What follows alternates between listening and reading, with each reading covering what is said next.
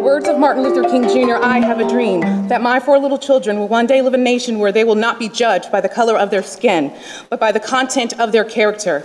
Now I have a dream that we will implement love, not hate, or supporting another Jim Crow's agenda. CRT is not an honest dialogue. It is a tactic that was used by Hitler and the Ku Klux Klan on slavery very many years ago to dumb down my ancestors so we could not think for ourselves. CRT is racist. It is abusive. It discriminates against one's color. Let me educate you. An honest dialogue does not impress, oppress. An honest dialogue does not implement hatred or injustice. It's to communicate with deceiving, without deceiving people. Today, we don't need your agreement. We want action and a backbone for what we asked for today to ban CRT. We don't want your political advertisement to divide our children or belittle them. Think twice before you indoctrinate such racist theories. You cannot tell me what is or is not racist. Look at me. I had to come down here today to tell you to your face that we are coming together and we are strong. This will not be the last. Greet and meet respectfully.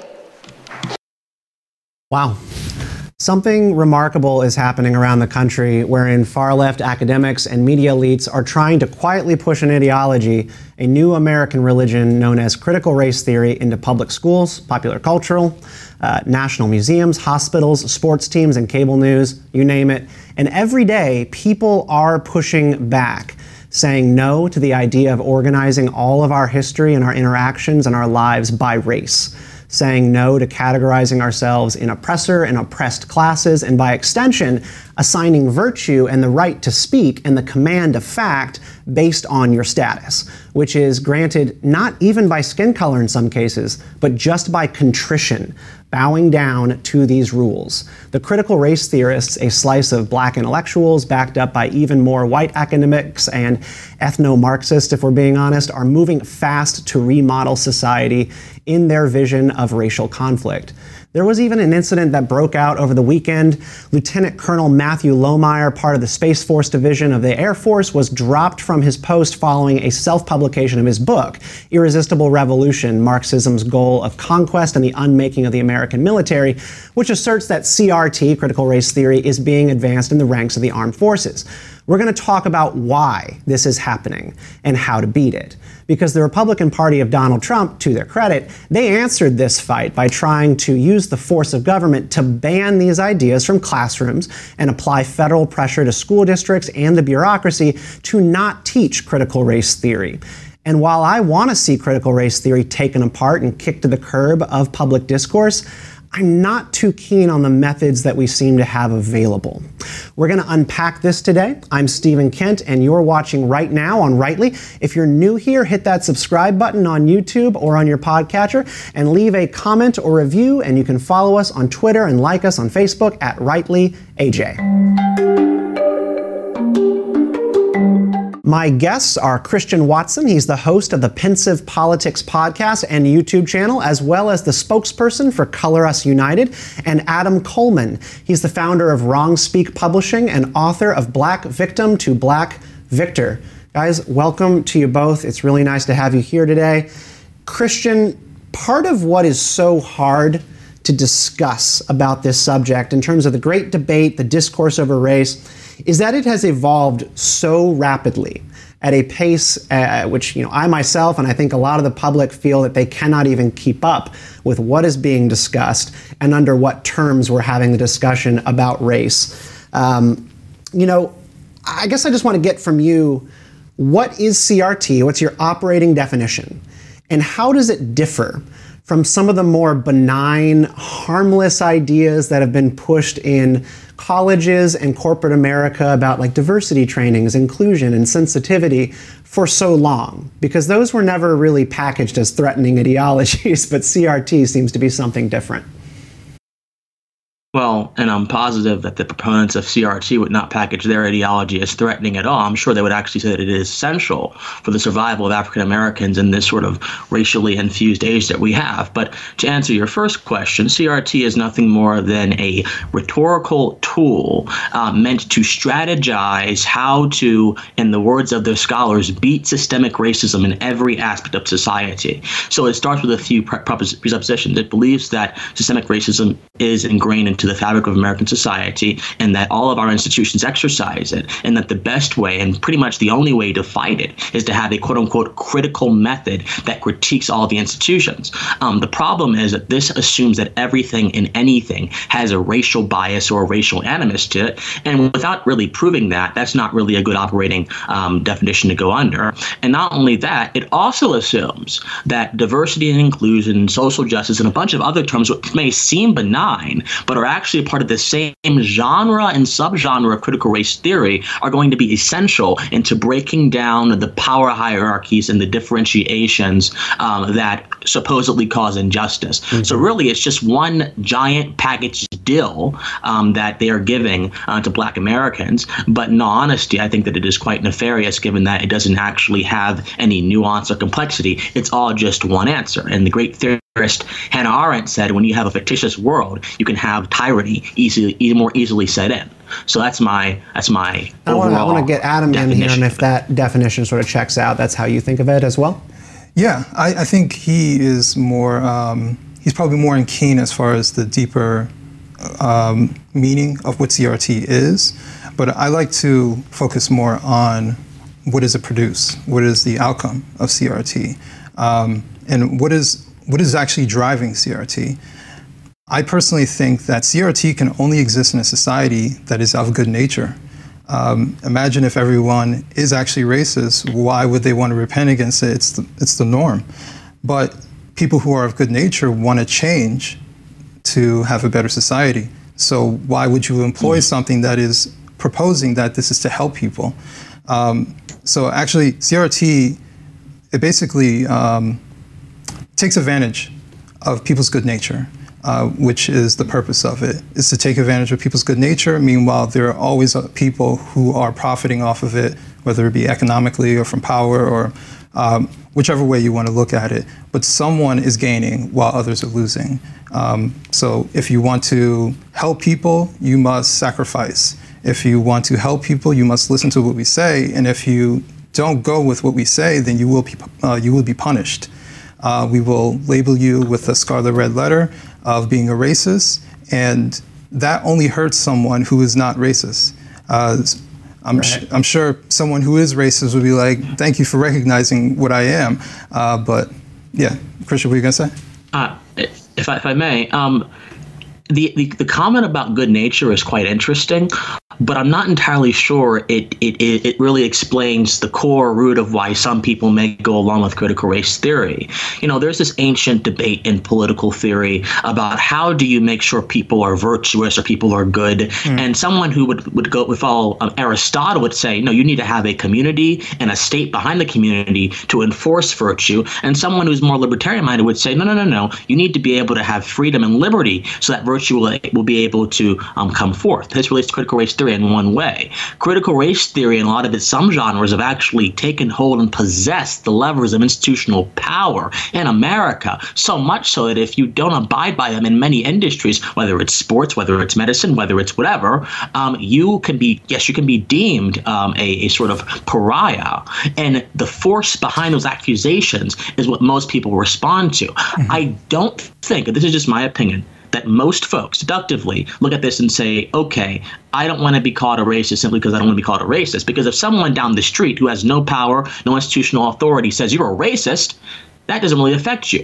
But if your boss who just read Kimberlé Crenshaw's new book about how to be less white or whatever, or Robin DiAngelo says it, okay, now you have an incentive. I think self preservation is the main reason, not necessarily good nature, because you can preserve yourself without having any good intentions.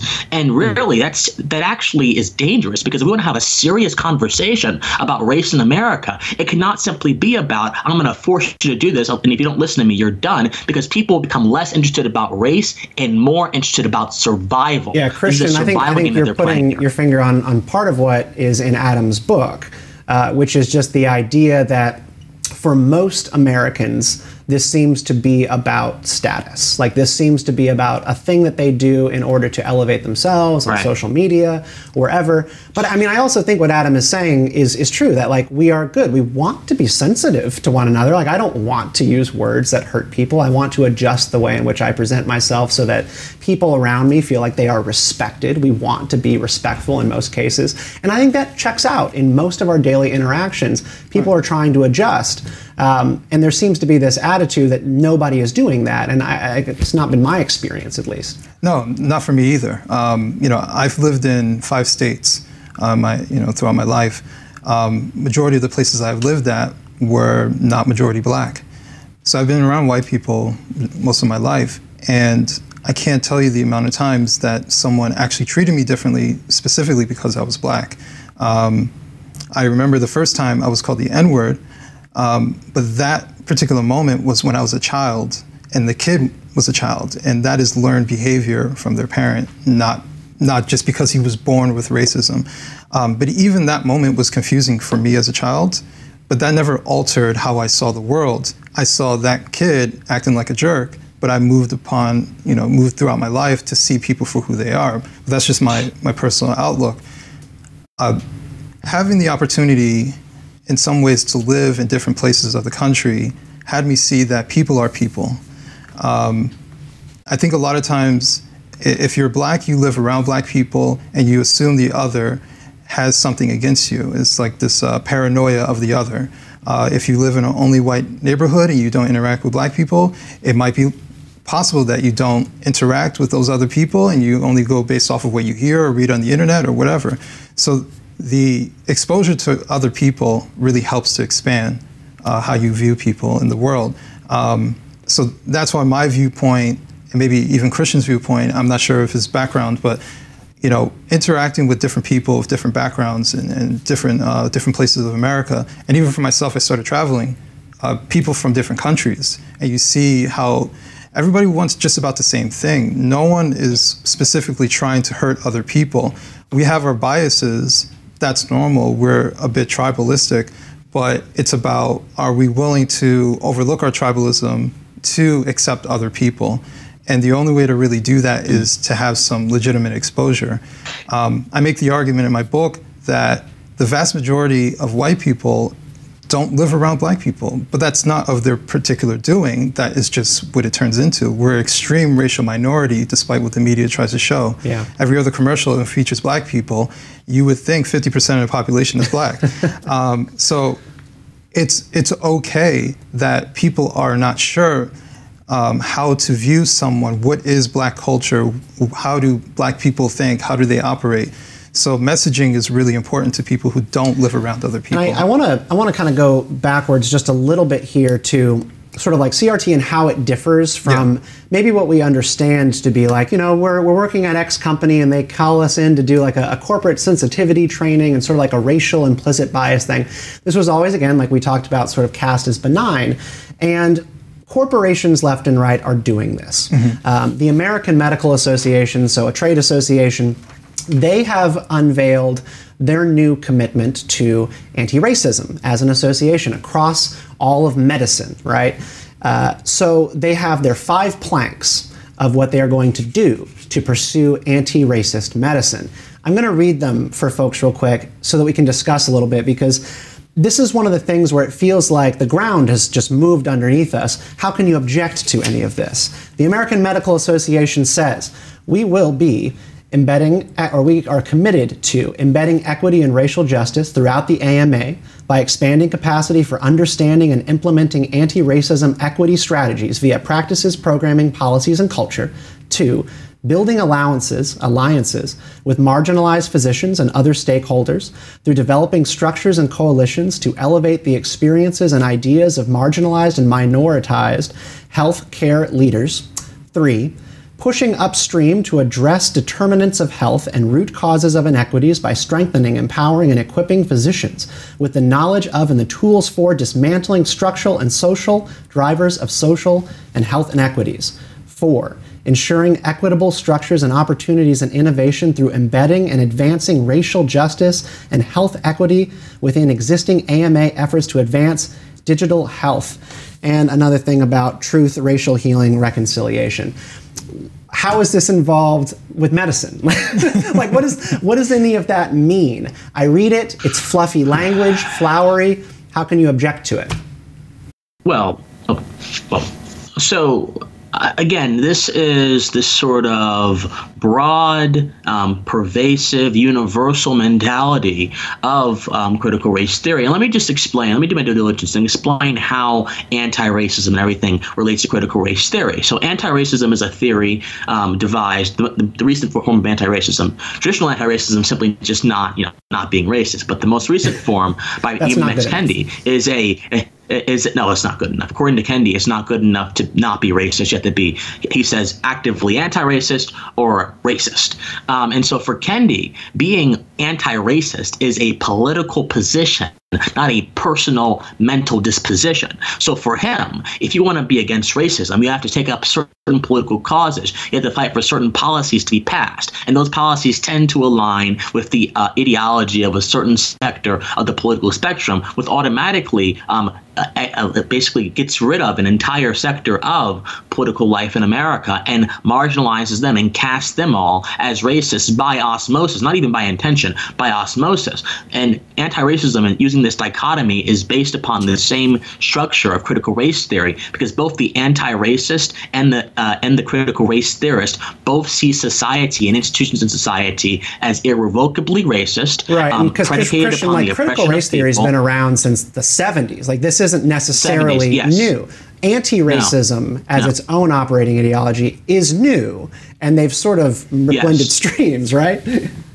Well, it, Kendi basically just took the readings of Derek Bell and Kimberlé Crenshaw and converted them into this new political ideology and, and casted it as being anti racist to make it seem more universal and more acceptable. But in all reality, you look under the hood, there's some damages that have been done. So there is absolutely a direct connection uh, between anti racism and critical race theory. You don't have anti racism without critical, critical race theory. And so when these companies are pushing these anti racist um, diversity trainings and sensitivity trainings, they're basically predicating um, all of their um, all of the tenets of their trainings on a critical race theory understanding of the world rather than actually using other metrics to assess these things. And they, so do, it's not they don't want to be called racist. That, like American Airlines does right. not want to deal with anyone on Twitter right. saying they are racist and then having to put out a press release about it. And so all the companies just do it and then they pay exorbitant amounts of money to these like race consultants, right, to come in and talk about them and give them these different suite of ideas. And I, I just I don't see a huge commitment to what they say so much as they feel like they have to engage in it. Yeah. Um, whenever I see a private corporation actually implementing these particular things, like you know, reading this through the that you did with the AMA, uh, first I want to say I've never heard the word minoritized. Uh, that is that's a foreign word to me. I don't even know exactly what that means. Um, but they're willing to implement these things that, on its face, don't really make any sense, all because of one word: liability. That's it. All anytime you see these associations, these uh, large corporations, they just want to cover themselves. They don't want to have a situation where someone makes a claim that someone within the corporation treated them differently. They say, ah, we'll beat them to the punch. We've already implemented these policies. And so we're, we're covered here. It's not a company issue. This is an employee issue. So don't look at us. Look at that person. We'll fire them and we can move forward. Yeah, and I mean, Christian, you talked to to James Lindsay the other day, and y'all were talking about a, a hospital up in Boston um, I believe it is the Brigham Hospital of Boston, wherein, yeah, yeah, so it's the, the Brigham and Women's Hospital, wherein two of their practitioners wrote an op ed for the Boston Review titled An Anti Racist Agenda for Medicine, where they lay out sort of like their vision of how you would take sort of these AMA guideline ideas and anti racism and put them into practice in hospitals. And it literally just involves wealth transfers, free service based on race, uh, and prioritization of services, uh, blood and transplants, and all this stuff based on race and your your ascribed status. Um, so it's just like it's you have all this flowery language, but like the crudest implementation possible, like the power to mm-hmm. decide life and death based on race and the, the, the service that you provide.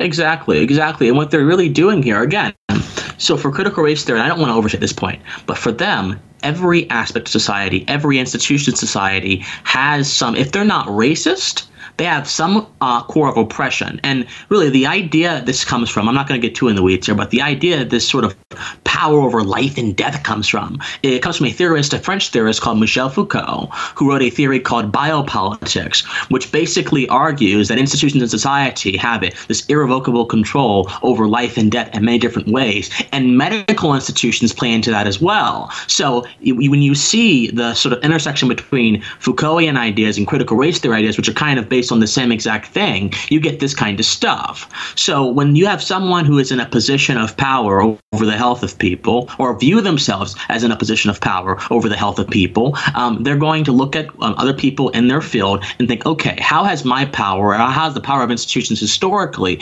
impacted minorities in this field? And then what can I do to rectify those impacts? Because in all circumstances, given that critical race theory is a profoundly unscientific and profoundly unempirical um, uh, academic rhetorical device, in all circumstances, they come up with the same exact answer no matter what the circumstances are. So, what you're seeing here is simply the culmination of ideology based off of ideas that reduce everything to a single quality, and that is profoundly dangerous to interacting in reality because reality is a multifaceted, dynamic concept that cannot be easily understood by one single thing. CRT is about systems, is kind of what I've learned here today, because you know, we're not talking about sentiment, we're not talking about individualized attitudes, we're just talking about the entire system as it is constructed and then everything within it.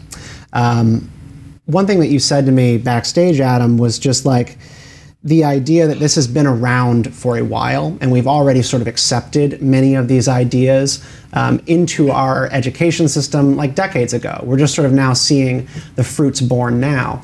And I, I think maybe one example uh, is where, you know, I, I, my background's in libertarian politics. We talk about systemic problems a mm-hmm. lot systemic racism in policing, uh, in criminal justice, who gets policed, who doesn't, uh, the street to prison pipeline, or even the school to prison pipeline, that there are systems that are in place that have like really bad racialized outcomes and therefore we kind of call them racist and like i've kind of accepted that as okay mm-hmm. this entire moment in our history has made me sort of like rethink that a little bit. Like if that, if ceding that rhetorical ground was actually a mistake.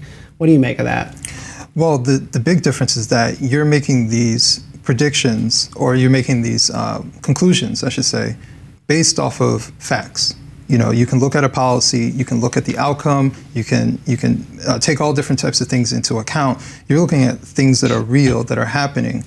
What they're doing is theorizing. That's something completely different. I can theorize about anything. I can theorize a ham sandwich. It doesn't matter. As long as I can make you uh, believe that that theory is true and it's happening, I don't really necessarily need to prove it. Um, which is why when they try to use examples, it is pseudo examples. So that's why they'll they're able to stretch, uh, you know, George Floyd being killed as a greater problem without wanting to even prove it. They just have an example and then they use that as the antithesis of everything that they want to push forward. You're, what you're doing is actually basing it off of a series of things um, that even you, like you said, you may be incorrect, but at least you're basing it off of something that is true and that something that is real and something that you can counter. You know, something that you're trying to to fight against. Yeah, you know, as a member of the libertarian tradition myself, um, and the classical liberal tradition myself, um, I think there is a difference when we talk about police brutality. We typically talk about it as a as an issue of officers who may be abusive in their personal lives or abuse have abusive mentalities operating under the color of law to inflict their abuse upon other people. We see it. We, we see that uh, that the system kind of aids it, but ultimately there's individuals there, which is why libertarians are going to get rid of qualified immunity so that individual officers can be pursued mm-hmm. with the greatest heft uh, and injustice.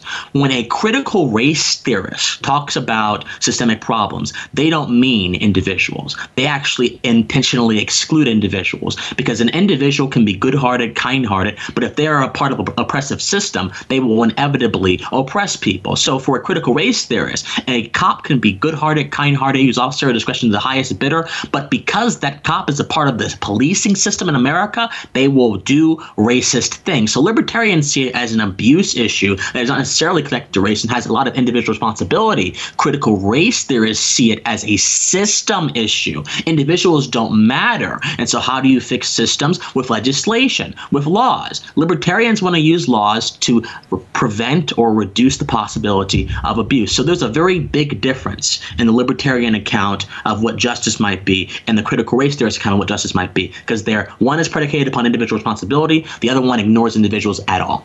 Yeah, and that makes sense because one of the things I started noticing, especially in the past year, the police officers that get the most heat are black police officers from black people and white people.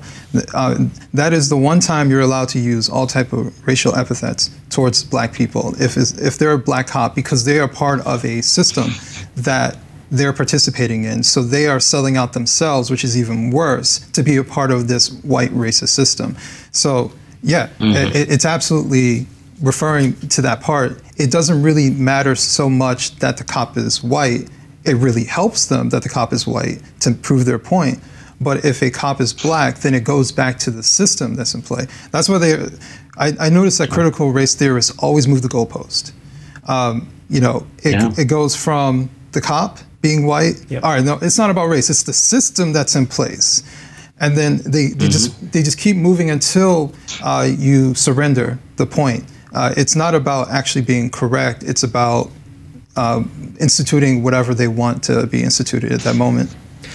Adam, your book is about victimhood and offers that this mentality is the reason we are at this moment, and that victimhood runs beneath the surface of a lot of our interactions and a lot of the way in which we think in this country. Yeah. Um, is that a correct premise of your book? Um, and how do we actually fix that and walk that back? So, um, you know, the book revolves around black victimhood, mm-hmm. but uh, it, the general theme is victimhood. Um, you know, the problem that's happening today is that there is a new type of uh, complex that's being invented called the savior complex. And there are people who are overtly trying to save people, not help them. Help is different. Um, you know, if, if a white person wants to come into a black community to help, to lend a hand, that is different than uh, changing how they do everything and dictating what they do and then using the government to do. You know, this is a very savior type of way of thinking. Um, you know, so when we see these school boards implementing these policies, they're doing it from a savior standpoint. Uh, they're not doing it to help people because nobody was asking for this. It's empathy morphed to pity. Right, right. Uh, it, it's a it's a lowering of expectations of people. It's a pitying. But the problem is that um, the victims want this. You know, the victims want acceptance from the saviors. The saviors. It, it's like a it's a sick mutual relationship as a victim, I want someone to always help me. And when they're not there to help me, I'm bitter that they're not there to help me. It's the same way when, when uh, black Americans talk about reparations. We deserve reparations, yet the people who are alive were never slaves. They're generations down the line from being slaves. What is the point of giving you monetary funds that is essentially just going to be printed by the government that and, and we're just going to incur more debt and that money is coming from me as well, who's a black American. How would we even implement this? I'm, I'm half Trinidadian, so I only have half my bloodline from America. How would this even work? No one cares about that because all they care about is getting something that is unearned. And victims always want something that's unearned. They want the sympathy, they want uh, the constant looking out for, they want changes put in place for them.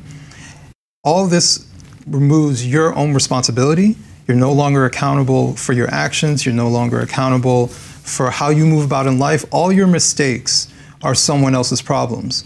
When we look at all these police shootings that happen across America, every single time uh, you can say that one, they have they're either in a criminal act, long-time criminals, and we always put them as a victim of a particular situation. You know, um, George Floyd died by the hands of a cop, but we ignore that he was high. We ignore that he was a long-term criminal. Why does it matter if he was high if he was a long-term criminal? I mean, it, that, that doesn't make any difference it on whether or not someone puts a knee on your neck. It doesn't in that aspect, but it does how you treat their uh, the situation afterwards.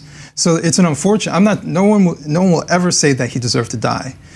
You know, the state should be uh, should prosecute Chauvin, and they did. They found him guilty, and did. and that's And a lot of the complaints were that they didn't do it quick enough, as if like just having due process that took several weeks, well, months actually, Right. for a trial to actually took place. That like that was the problem. right. but the, there's there's two fundamental reasons why that his history matters. His history matters because one, we treat him like a martyr, and he's not.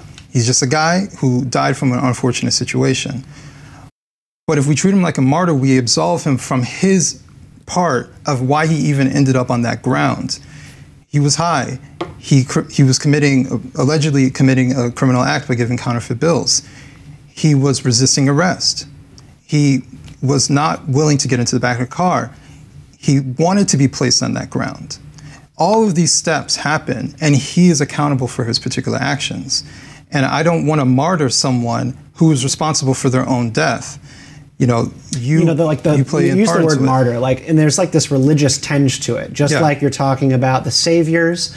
John McWhorter calls the people pushing CRT the elect, the people with the the knowledge to sort of lead and govern, and then you also have like the martyrs, the people who die at the hands of the oppressed or the oppressors. Uh, and then are cre- like murals created of them, right? Like entire murals and worship sites and all of this stuff. It is really impossible to separate it from religion and sort of this idea that this is all sort of like a spirituality of sorts. Well, even even Joe Biden said his death is more uh, was more impactful than Martin Luther King's assassination. So That's unbelievable. Yeah. He said that. yeah, Yeah. Um, so that that tells you something. Um, you know, so the the martyrdom, uh, the martyrdom part really is concerning to me. And then there's the conflation of black criminal issues as being black issues. Those are the parts that that's why I talk about his history because that is a black criminal issue. How he was handled as someone who's committing a criminal act. Christian, do you think that that's fair? Um, so, and, not- and I've seen a lot of people appeal to Mr. Floyd's vices as a sort of man, as a sort of way to um, reduce the um, halo of, of, of, of martyrdom that has been imposed upon his head. And I, I think that's probably, that misses the point a little bit. Right. And, and, and George Floyd, his individual responsibility and all that kind of stuff, that is fundamentally distinct from the individual actions of Officer Chauvin. Now, I say individual actions because a critical race theorist or someone in that same genre uh, would believe that Officer Chauvin's actions are simply the actions of a system that has been oppressing black people for however many years. But I believe that Chauvin and his contemporaries made a very grievous mistake by not necessarily um, entirely tending to Mr. Floyd's needs, by not taking a, a more less invasive action to restrain him. I mean, if you're an officer, as long as Chauvin's been an officer and you are able and you've been trained, you should be able to restrain people in many different ways. This is why chokeholds have been banned in several states in the aftermath of the George Floyd killing. So we can not impose martyrdom upon someone's head, but we can still recognize that individually what happened to them was unacceptable without bringing up their uh, their personal vices. That's kind of a non sequitur, really. If George Floyd had been um, the, the, the like, if he had been like Mother Teresa, would that make his death any more or less tragic? No. George Floyd was a human being imbued with natural value that comes from his ability to use rationality, use reason, to walk and breathe and live on this earth intelligently as a human being can. And that alone is what makes his situation a situation that anyone should look at independent of his vices. Everyone has dirt. Everyone's made mistakes. Chauvin actually had several abuse cases on his hands before the Floyd thing even happened. So even he had dirt. But we don't really hear that from a lot of people who are defending uh, Chauvin against George Floyd. So I just think that it's a mistake to bring up his vices. They have absolutely nothing to do with the grand significance of what happened in that particular moment. But I think his vices are important from how we view the entire, because all of this comes back to systems. They, they're trying to make the point that the system is overtly racist and that George Floyd is because, his situation is because specifically that he is black. My argument is that his history matters because his situation happened because he's a criminal who happens to be black. Those are two separate things, and that's why his history matters in this particular situation. If George Floyd was on his way to church and he was killed in the same manner, then that is something else to, to kind of highlight, but that's not the situation. He's doing something specifically illegally that specifically brings in the state to act upon what is happening. Someone called the police on him. Um, sorry, go ahead, Christian. Oh no, so you know, illegality does not necessarily mean immorality. There are plenty of laws themselves that are actually fundamentally immoral. Now, in Mr. Floyd's case, Mr. Floyd was trying to counterfeit bills, and that's that's that's obviously deceptive. That's wrong.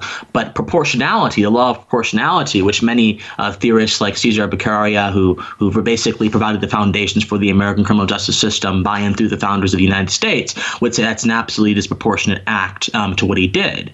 Um, so, I mean, criminality. When you say criminal it mm-hmm. kind of conjures this image of this sort of a grimy looking, you know, striped shirt bandit who is terrorizing the community and is living in immorality and scaring children. But in all reality, criminality can be as, as small as counterfeiting bills, as small as big as robbing a bank, or as small as doing a jaywalk. I mean, we can't just use the term criminality to try to understand things because that itself is kind of systemic as well. Adam, this, this, the idea of criminality is very for, broad for Adam here. Do you do you place yourself anywhere on like the conservative to liberal spectrum? I am, um, I would say I'm more socially conservative. Mm-hmm. Um, politically, I'm an independent, but I tend to be more libertarian. Yeah, that's a good way to be. And I think this will this will be a good starting point for this this final leg of this discussion, which is like we've seen the consequences of critical race theory. We've seen the consequences of the things that critical race theory are trying to address, uh, and I think making things worse. But the key question of this episode here today and this, this whole discussion is what the heck do we do about it? Because there were efforts in the past year by former President Trump to ban critical race theory from being, you know, pushed through the bureaucracy to being included in certain corporate trainings to push uh, the Department of Education to make sure that these things were never getting into public schools. Uh, he issued an executive order on September 22nd of last year to do just that. If you go to that executive order now, it comes up as an error 404 message. It has been taken down by the Biden administration. And in Texas, Tennessee, Florida, Oklahoma, Arkansas, North Carolina, state legislatures are pushing bans on critical race theory. Um, the the one bill in North Carolina, Bill 324, it does a number of things that I kind of want to just put a finger on here real quick, which is that, like, it, it tackles the ideas of critical race theory. It says that you cannot teach certain things in the schools, including like the belief that the U.S. is a meritocracy and an inherently racist or sexist thing, or that the United States was created by members of a particular race or sex for the purpose of oppressing members of another race or sex. You are not allowed to teach under that bill an individual solely by virtue of his or her race is inherently racist, sexist, or oppressive. Um, you know, other things that just like put a, a, a limit on like what can be discussed by a certain teacher. And this raises the question like how, how do you actually react? do you ban critical race theory? Because that seems like a, a really harsh measure to go with in terms of force of government. Well, as someone again who is a child of the libertarian tradition, and when people talk about banning things, especially banning ideas, yeah, I'm immediately called back. Yeah, I'm, I'm, immediately called back to John Stuart Mill's um, uh, what he said in uh, on Liberty, chapter three, I believe, and he talked about uh, how you know you need to merge experience with discourse to understand knowledge. And all that means is that i have to be able to experience knowledge or through a book or whatever and i have to be able to talk about it. And banning kind of eliminates the ability to have discourse or so you think. Um, but when you talk about banning we're not actually banning the ideas from being necessarily discussed. Most of these bills ban the ideas from being stated as unequivocal truth there in government schools there is a very big distinction because the government already regulates education, and for a libertarian, that's a, right. that's a non-starter in the first place. But since the government already regulates education, it has the ability to set educational standards under the auspices of the First Amendment. So it is a government institution. So the government is already setting educational standards. Getting rid of teaching critical race theory as a fact is nothing more different than teaching evolution as a fact, and that is the government setting standards about what it believes is valuable. If people really have an issue with critical race theory being banned in education. You know what you could do? You could push for the decentralization of education, push for the privatization of schools, and then you would be able to teach whatever you wanted to teach. But, but that is while a you were under the problem auspices, to take on the decentralization of education, whereas you just take sure. this fight straight to your state legislatures to ban certain kinds of curriculum. And like Democrats paint paint this this way. Like they say like in North Carolina that you know what they're doing is they're they're chilling free speech by teachers. They are putting a limit on what can be discussed and that like we should be able to have uncomfortable conversations in classrooms which just makes me flash back to being in school. I'm like, do you think we don't already have uncomfortable conversations in classrooms minus critical race theory and Ibram X. Kendi stuff being pushed onto teachers and classrooms and students? Like, we already have tough conversations about American history. So I just, it, it doesn't seem to me that like the hands off approach for CRT is, is working. Like, if we do nothing, then they will steamroll the public education system entirely and they will put this into curriculums if we don't stand up and use, I don't know, just like really strong means to say no. And that might be government force. I think, um, you know, the government is supposed to be by the will of the people. So if the people of a particular jurisdiction does not want something, that's our system. They can go up and try to lobby for that to not happen. So these different school districts where the parents are showing up, that is the number one step to try and push back against critical race theory. Whether it works or not is a different story, but at least that attempt needs to happen. I think in some of these places, the parents, they're doing their nine to five, they're unaware what is actually going on behind the scenes, so they're not doing anything about it. But I think more and more people are, are waking up, they're becoming more aware that it is happening. My thing is, I'm a realist. Um, will that actually stop the teaching of critical race theory? Yeah, Probably. You can't ban ideas. no. No. Yeah. And, and, and so, even though I'm saying go to your schools, make sure it's not necessarily part of the curriculum, teachers can teach in, in a variety of different ways. It's a matter of will they be disciplined? Will they stop it? Will the principal say, give them a wink and say, listen, I'm okay with it. Just, you know, don't be so obvious next time. Or uh, maybe try this book instead. You know, it's going to happen and it's been happening for years we've all heard of the liberal teacher who likes to teach feminism. Yeah. Um, you know, it's it's stuff like that where the teachers are going to teach in a particular way. Whether they stay neutral or not is a different story. I love the idea of like individualism in schools and classrooms. And I mean, I think by the nature of public schools, they can't have that. Like they want everything to be streamlined. They want all teachers to teach the same thing, to be the same way. But we've all experienced, if we've been in public schools, right? Uh, luck of the draw. Sometimes you just get like that, that feminist teacher or you get that really macho coach uh, who is just like a total jerk. And there's nothing to be done about it because people are people and personalities right. differ. Um, and there's nobody to say that they have to act a certain way or believe a certain sort of things or, or tweet certain ways. But like CRT and sort of like these curriculums, these suggestions, these webinars, they do use force against people to submit to the ideas. I'm fine, honestly, I'm really fine with a school having a discussion in the classrooms about how to be anti racist, as long as children can say, that doesn't make sense. I don't believe that. or say like this is this is wrong. Like if people can say wrong and object to it um, and not be punished, then I think it's all within the bounds of open discourse and freedom. But that's not what happens. Well, so do I.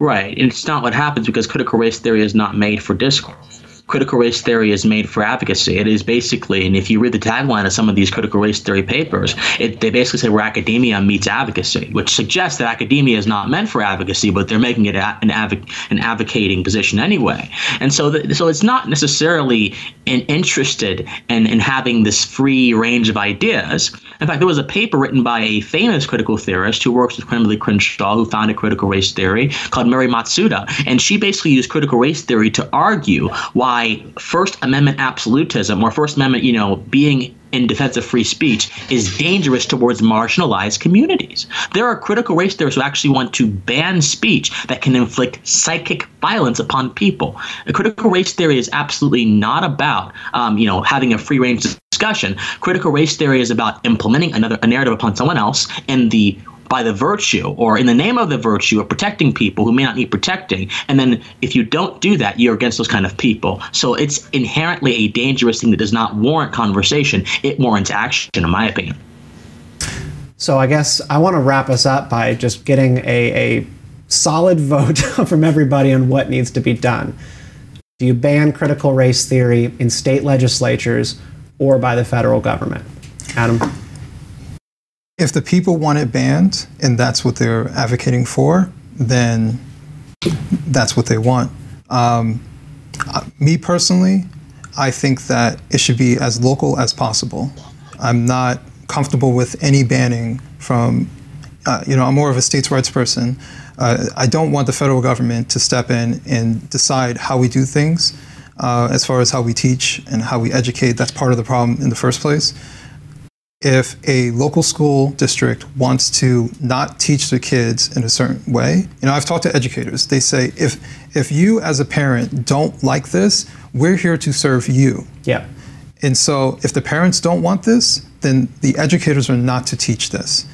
We make it as local as possible. If there's a school district that wants to be anti racist, well, now we know when we go into that school district what we're getting ourselves into. Yeah. Um, so I, I, give the power to the people as local as possible. If this is what they want, this is what they advocate for. I'm gonna I'm gonna go along with Adam on that one. Uh, local jurisdiction, being able to go against federal bureaucracies and the federal government that might push these ideas, uh, and they can go right ahead and do it. Uh, no bans at the federal level, but state legislatures, I think they should go forward with what they're doing as long as they have a popular mandate. Same for school districts. Christian? um, popular man, yeah, popular mandate or not, state legislatures need to need to ban this thing. And I don't mean ban it as in you cannot talk about it. I mean ban it as teaching it as fact. Because when you teach something in the curriculum, it's typically being taught as as if it's an accepted thing, even if it's like a theory, right? Evolution's a theory, but it's t- taught as an accepted thing because you know it has a lot of backing behind it. And critical race theory has backing from all many legal organizations, civil rights organizations, many corporations. It has the same cultural force as a theory like evolution might have, or at least it has the appearance of that. So no, I say you you you handle it at the state level, of course, not any federal bureaucracy, and you prevent it from being taught as fact. And um, you know you uh, you know it's it's not obviously as Adam mentioned, it's not a surefire way to do that, but it is a statement. It's a statement that this theory cannot be used to enforce certain people to think a certain way about themselves, and that the value of American education is so much more than viewing the country as a, a cadre of oppressive systems. So I say you handle it at the state legislature level and you go forward from that. Gentlemen, thank you so much. This has been a great conversation. I appreciate you taking the time to have it with me. Thank you. We like to end every week on a positive note, particularly after really tough subjects. So let's wrap things up with positively a little bit of good news uh, going on in the world or in everybody's lives. Um, Adam, feel free to start us off. Um, I would say my positive uh, news is personal. Um, you know, I'm relatively unknown. Um, you know, I'm a new author, and when I first started writing this book, I didn't know if anybody would buy it. Um, but I put myself out there, and I let God work through me, and He's blessed me with a ton of people who really care about the message because I'm displaying a positive message within the book. Um, you know, just even sitting here is a blessing to sit in front of you. Um, and it's something that I never thought would ever happen. And all I see are positive things coming in my direction.